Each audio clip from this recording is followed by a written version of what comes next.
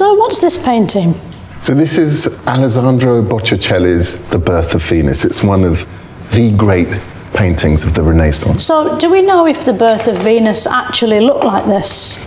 Well, it's depicting a sort of mythical figure, so it's sort of metaphorical. So it's the idea of a goddess who is coming into being rather than being Her born. neck's very long. Was she part giraffe or could he just not do necks?